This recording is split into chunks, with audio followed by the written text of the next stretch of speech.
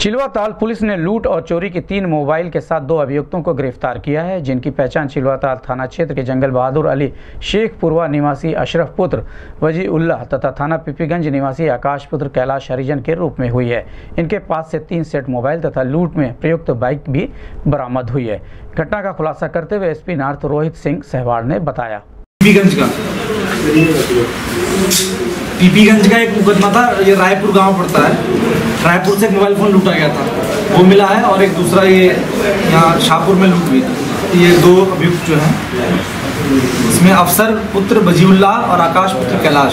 Sir ये बरामद हुई है। किस रंग की है? काले रंग की पल्सर है। ये लूटते हैं दो अभियुक्तों को गिरफ़्तार किया गया। इसमें इनके पास से तीन मोबाइल फ़ोन जो लूट के बरामद हुए हैं। एक घटना पीपीगंज की हुई थी इसमें जो लूट की घटना हुई थी। दूसरी जो घटना है वो शाहपुर ये शहर क्षेत्र में शाहपुर क्षेत्र में घटना हुई थी लूट की।